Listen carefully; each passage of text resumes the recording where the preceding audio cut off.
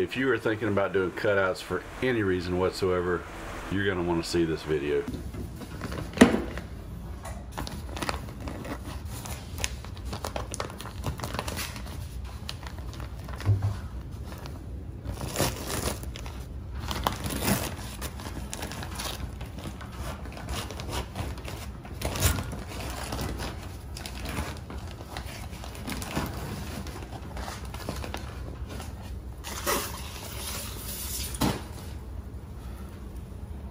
Mm, that's looking pretty big. Oh, yeah, it is looking big. Like it goes way out on the outer wall. I hope not. You're putting a lot of insulation and quite chewed up, so they've been there a while. Yeah. Uh oh. What? I just dropped it on the back of my leg with a bunch of bees on it.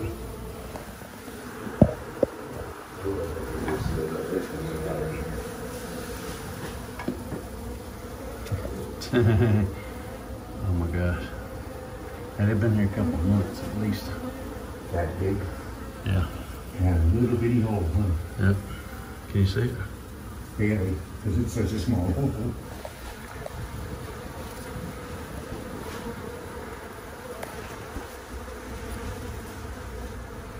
Welcome back to the 628 Dirt Rooster channel where hobby beekeeping is a way of life.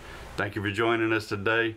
I've got a couple of videos here today that I'm going to kind of I, I got a voiceover because my GoPro 8 ate my audio again on the on this kind of long clip where I'm explaining a lot of this. Uh, this first job that you just saw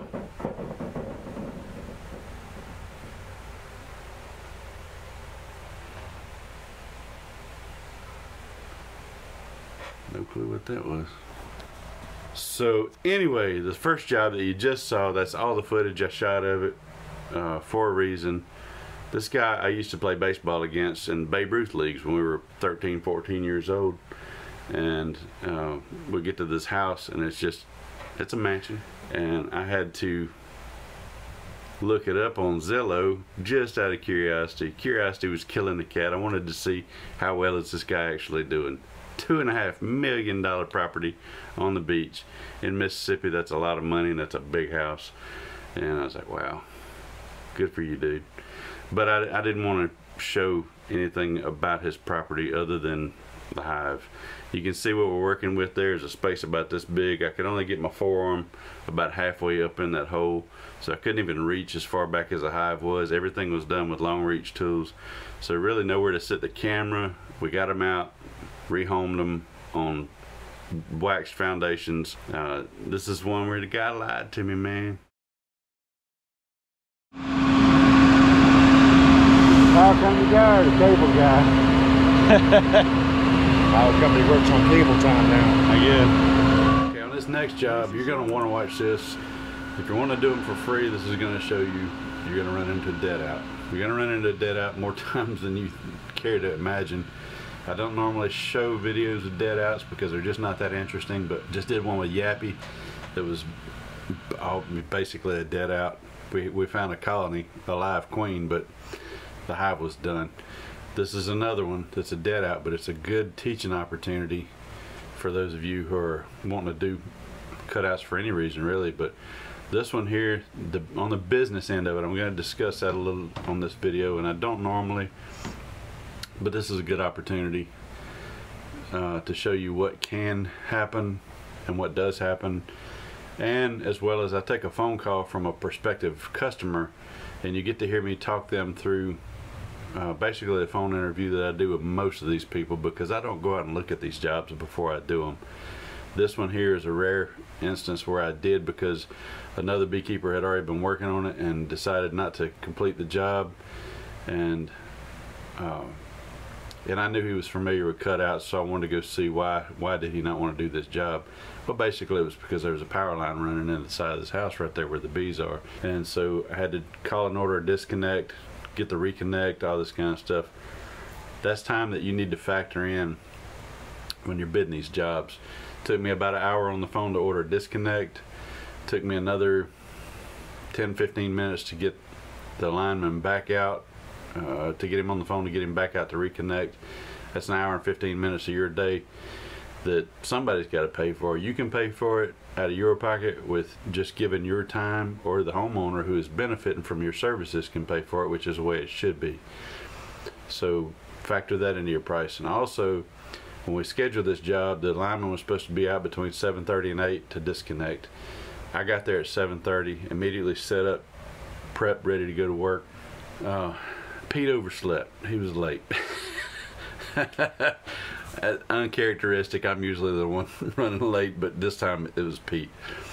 But it didn't matter because the lineman didn't show up until almost nine o'clock. So it was nine o'clock before we got the power shut off and we're able to get the job uh, going. You know, further in the heat of the day, dead middle of summer.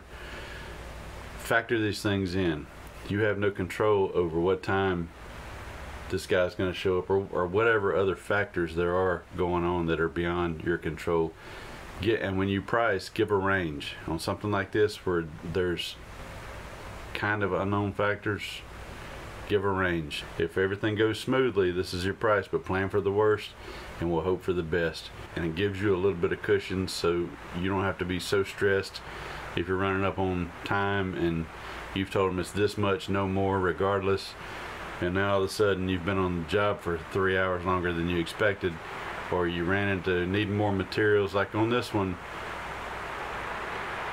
Comes the rain. On this one um, one of the unforeseens was that T111 behind that vinyl siding.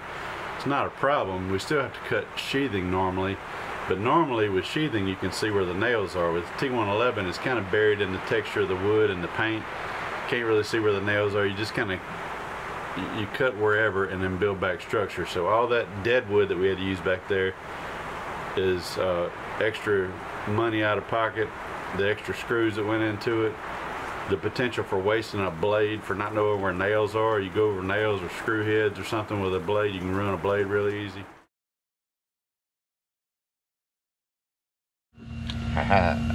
That's the tool. Even now, with electricity off, they got a little more as soon as he, I come over here and he had the electricity off, how they were clustered up there. Yeah. They're not clustered, they're off of it now. I didn't show you all this yet.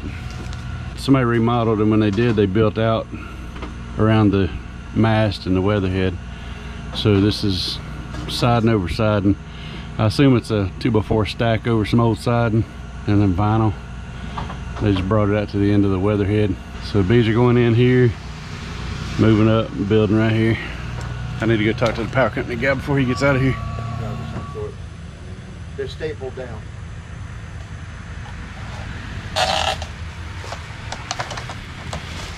What's stapled?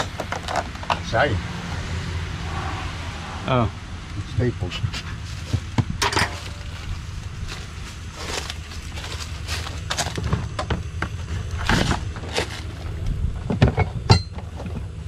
Here's a five and one and a catch ball.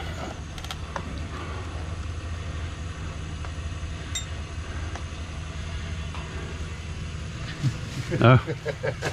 you really think I went up here without one? I. My favorite tool, you know that.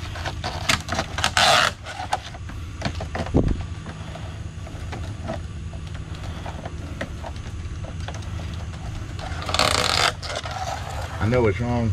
Straight where two come together, I'm stuck in that notch. Don't let it beat you. Oh, it beat you. Beat myself with that one.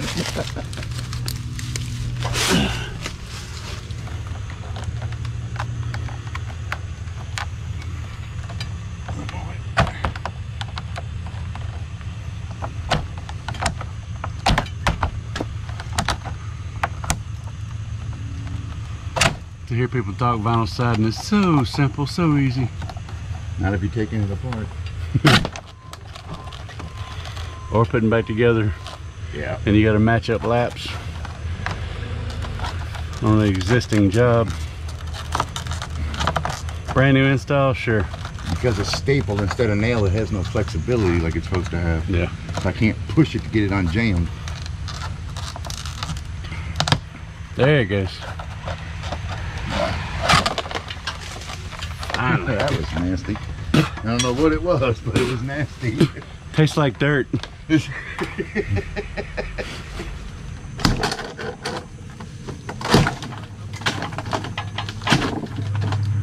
you go. All you're doing is breaking the staples out. We'll go to a different tab. That's not a big deal.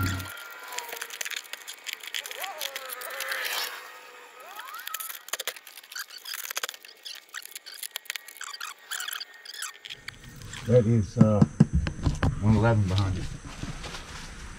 And then there's space behind it. It says siding over siding over siding. This is the siding. It's painted and There's, everything. there's wax moth chrysalis up around it. I thought that's what that was. I wasn't sure. Yeah, yeah. So this is at least hive number two. These things always turn out to be more complicated than you could ever imagine. That ants infestation too all over. Just peel that foil back and figure where the studs are and we'll cut on or as close to as we can. So we can put that wood back when we're done. I'll go get the skill saw.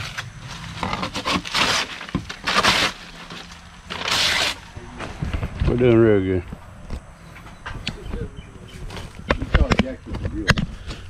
You charge extra for viewing. Huh? You charge extra for viewing. So they on the inside wall right there, y'all got- videoed them? They went in right there on the mast there, That's what I was looking behind at. the yeah. side and then behind that T111 too. This is where it's been to make them mad. Oh yeah.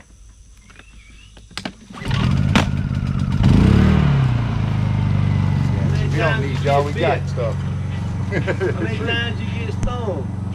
so far, none. Anywhere in that area, just pick a spot. So the black ones, they ain't no such thing? Yeah, there is. Yeah, they got it, but they're not any meaner than. Oh, really? That Well, I guess for him messing with them, I guess the black ones have got him more than the yellow. did. I'd cut down as low as you can. That's what I'm fixing to adjust. so we're not making multiple cuts. No, I don't mean, uh, I, I adjusted the depth of the blade. I mean, come all the way down to that siding if you can. I would hold that for you, but I got a camera. That's more important. Well,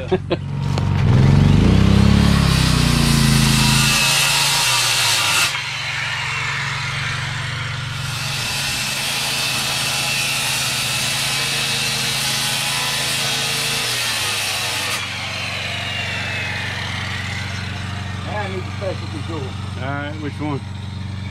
I'll sleep. Just lay that blade in there. Just lay that blade across that angle.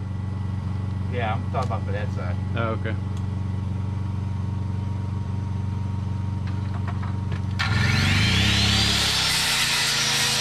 It's the first time I ever found a bandana that fit around my head.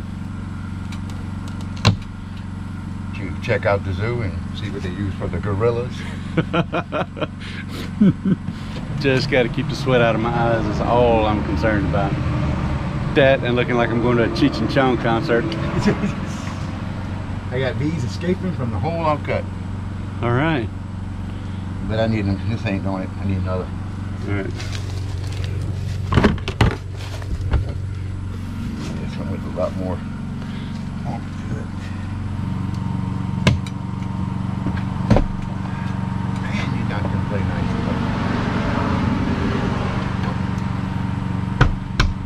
Ladder in a good spot. Yeah. It ain't the ladder, it's me.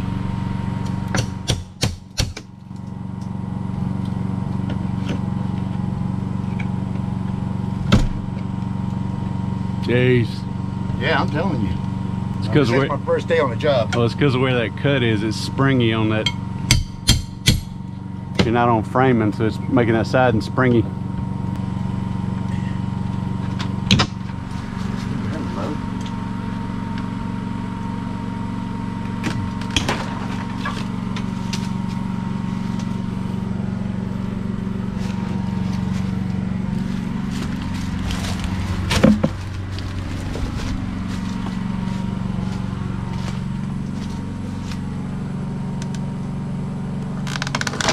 Oh yeah.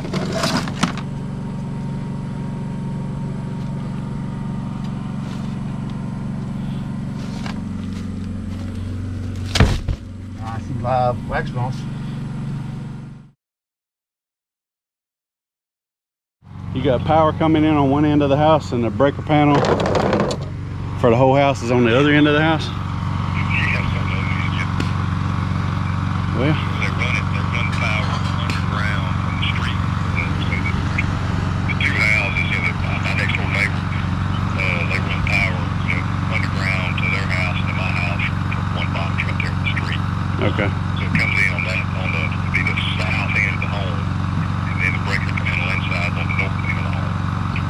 Eight foot walls, Uh, crown molding, not in her room though. texture or wallpaper. Uh, just painted sheetrock, What's the floor? uh, carpet right now. Room full of stuff. Yeah. Y'all, They could be easily moved. y'all living there, right? Yeah, yeah. How long the bees been there? Man, I don't know. I was talking to your brother. He said they could, they could be there a lot longer than I thought for. I just noticed them yesterday. Uh, I got pot my one on when I turned my water off. and Rode the lawnmower by the other day and you know, they didn't even notice anything. So Yeah. I really don't know how long they've been there. Okay. What's the siding on the house? Uh, it's just it's just brick exterior. Brick veneer up to, is that a gable end or is it just a soffit? Uh, just a soffit. Yeah. It, does it, is it brick and meets up to the siding or it meets up to soffit? Uh, brick meets up to the soffit. Yeah. Are you sure they're in the wall? Are they going in around the panel or are they going in uh, somewhere on the wall?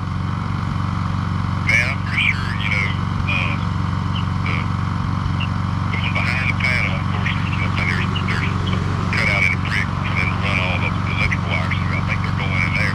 You go to my daughter's room, They're, defi- they're, they're definitely going behind the panel. you, you, you, you can hear them in her room loud and clear, bumping the walls, buzzing, How old's the house? built in 2000 and, no, excuse me, built in 1998. Yeah, a lot of bees. Well, it's the remnants of a colony. You just never know. Never know till you get into them. Got good activity on them. No robbing. Or no fighting, rather. Yeah, that was uh, that was treacherous. Coming down that ladder with all that weight. I thought you was gonna lose your balance. I was gonna have to catch you.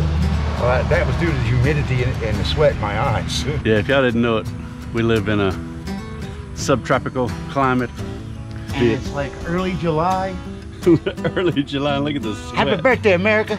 That's right, that's right. Happy 4th of July. He, he's trying to make me edit this video right now is what's going on. if I edit a month from now and say happy 4th of July, I don't mean nothing.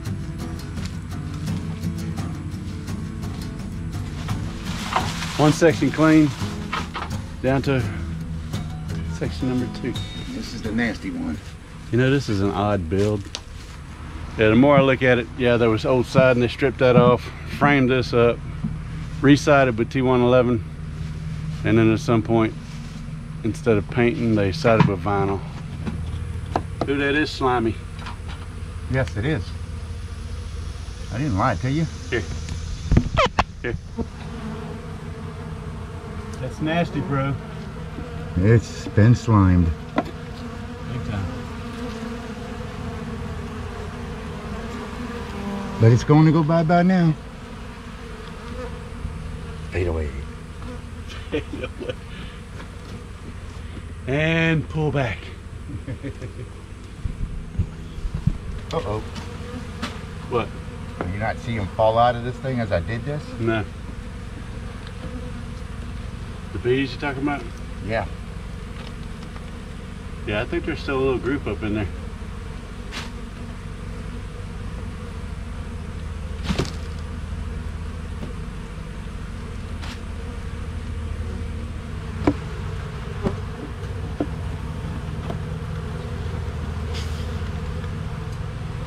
Need smoke? Yeah. I got plenty. Wherever they're at, hit the pocket of them. It's probably blowing flames by now. So be careful.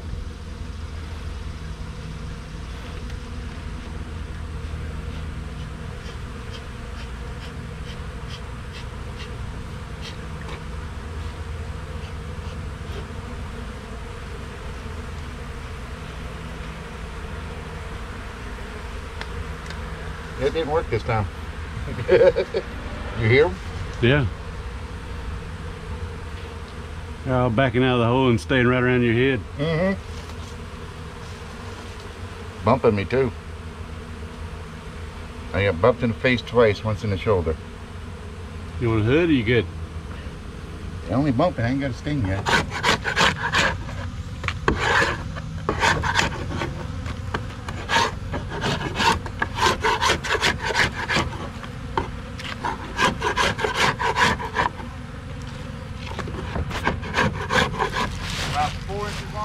Yeah. How many of them you want? Uh, a good handful.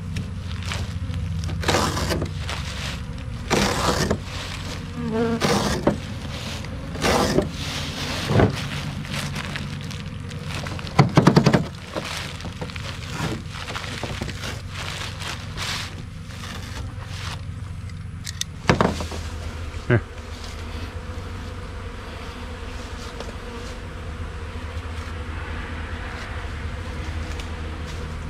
Like Domino's.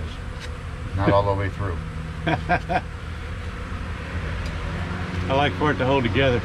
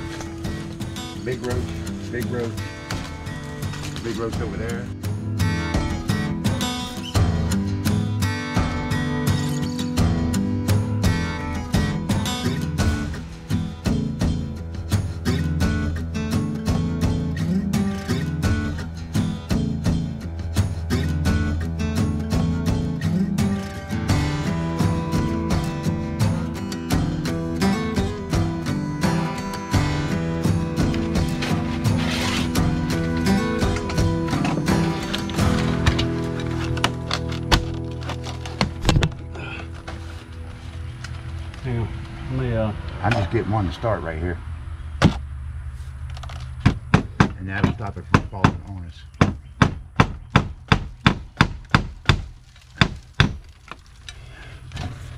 Now we can work it. Gotta call that electro guy and he can come in and do what he's gotta do now.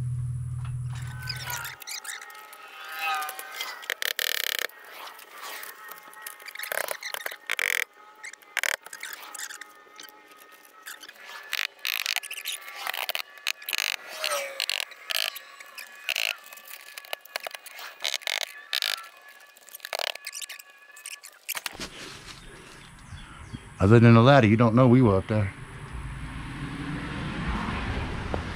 it's time to pack up and get out of this sauna.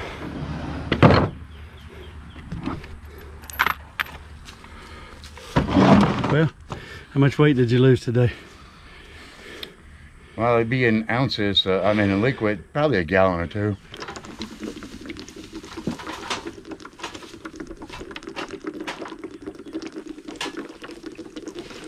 I'm liking this little widow peak on my bandana. It's got somewhere for the water to drip instead of in my face. The end of another successful cutout on an extraordinarily hot and humid day. Heat ain't that bad, but the humidity just, I thought we were gonna get rained out though. yeah. I, I hit that really wet. It looked like it was saturated. All of a sudden, I come down the road, bright white and no, not wet, no nothing. It was raining when I got here. So I brought the generator for a couple reasons. One was we were killing the power to the house and we thought the homeowner's wife was gonna be inside while we were doing this job. So I want something to run a refrigerator and a fan. Uh, she had to go, so we just used it to run tools. Nobody's been in there opening the refrigerator or anything. We got this done fairly quickly, so fixing to get the power guys back out here to kick the power back on, finish cleaning up our mess and putting tools up. We'll be done headed to get some crispy, crunchy chicken. It's usually what happens. Please leave your message after the tone. Hey, it's Randy over here on the road. We're done with those bees, ready for that power reconnect. Hey, Colby, you want. black cherry. Same color shirt you're wearing today. Oh yeah, we match. We're Twinkies. Look at that privet hedge blooming in July. July 3rd, privet hedge is blooming. It's, it's fixing to go on well. A whole lot of little green ones are all over it. That's odd. Get you up in Mr. Ed and their booster seats at Cracker Barrel. We'll make more. Uh, we're just waiting on the power company to show back up. Reconnect. Look up over in there. Can't even tell we were here. Other than the fact that bees are no longer flying in and out of that hole, I, I filled the hole. Hole blocked off. back and front. Did it from the inside. Yep. The job's sweet when we're done. I'm not a professional, but I do play one on YouTube. Yes. Let me finish this video out with some tips on cutouts. Whether you're doing them for free or charging, this should be a help to anybody. Number one, know something about construction. Don't go in there and not knowing construction, not having any clue where to look for the bees, where they could possibly be building. Cut up somebody's house and you ain't even found the bees and you got holes everywhere. No construction first.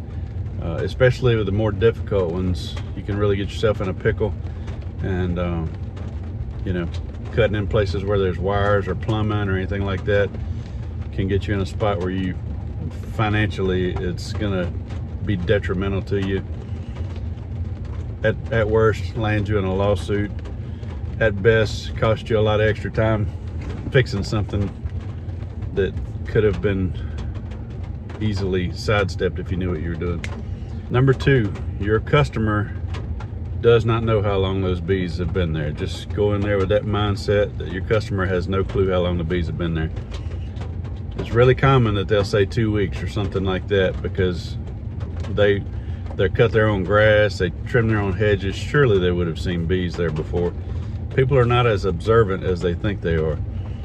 And so a lot of times you'll see somebody that's got, they saw a little elevated, heightened activity on uh, hive and they just noticed them and so surely that's when they moved in. You know, you're expecting this cute little cantaloupe of a hive and you get in there and you've got a three or four foot tall hive in a wall or, or you know, six foot long hive in a floor joist or whatever it is. So don't take your customer's word for it how long they've been there. They're not trying to mislead you most of the time. Although sometimes after somebody's shopped around a little bit and they figured out how long or, or the longer the hive's been in there, the more it's gonna cost to get it out. Sometimes they start their memory starts slipping. You know, I don't remember seeing them in there more than the past month, but that's that's pretty uncommon. But don't take their word for it because they're usually wrong. Number three, price in a range. This will protect you to some degree, and the homeowner will understand. So if you're looking at a job that you think is going to be a $600 job, and I'm just throwing random numbers out for the sake of conversation, tell them it's going to be six to eight hundred dollars. If it's a you know fifteen hundred dollar job, it's going to be fifteen to eighteen. The bigger the price of the job, the bigger the cushion needs to be. So two thousand to twenty five hundred, whatever your uh, price is, add something to it to to have a little cushion there that you can say, look, we're going to plan for the 600, but if we run into unforeseens that cost us extra hours, extra materials, extra whatever, it could go up to this. That way they're budgeting, they're planning for that. Because if you come in there at your $600 and you get in there and it, it took you an extra four hours, you and another guy, and more materials and this and that, and you need to come back to them and say, look, I know I said 600, but we're in deep. I'm I'm gonna need, we're gonna need to to uh, renegotiate this and they have a budgeted for that, well then you're both stuck. Either they're gonna have an IOU to you, or you're gonna just walk away with your six hundred dollars and eat the rest of it, which is more than likely what's gonna happen. Um, so price in a range. And I think I'm I'm gonna end with that because we could go on this stuff all day. But part of I, I'll t- I'll say one more thing and and I'll lead it into I'll let it lead into something that we can discuss later if somebody tells me, and I get this a lot, new bee removers or even seasoned bee removers, surprisingly, will tell me people just won't pay to have hives removed in my area. They won't pay that much to have hives removed. You know, I'm doing them for a hundred dollars. You can't do hive removals for $100, 200 even $300 sometimes.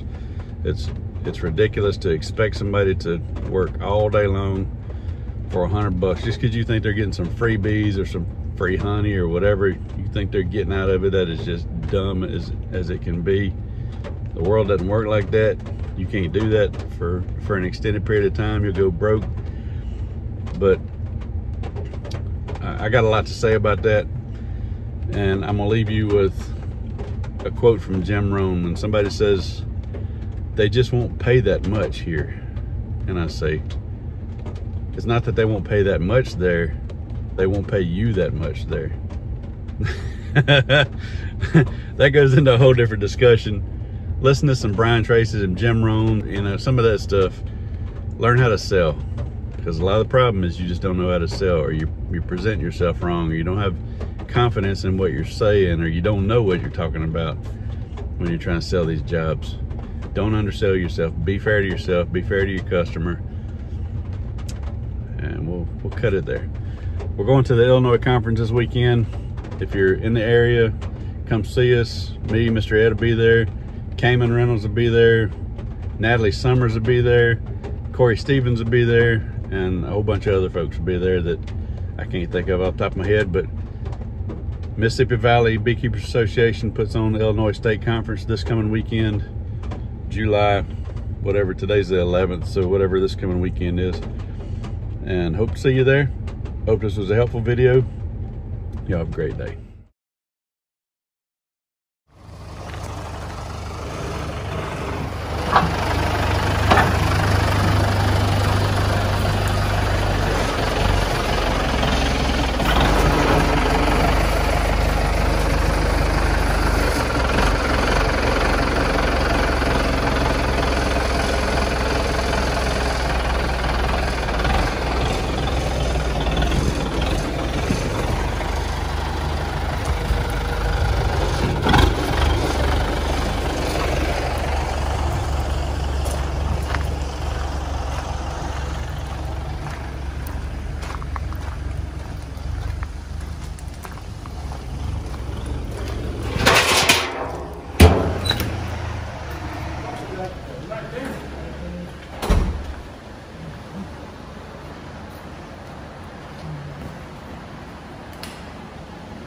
You gardening mine? Yeah. It, man.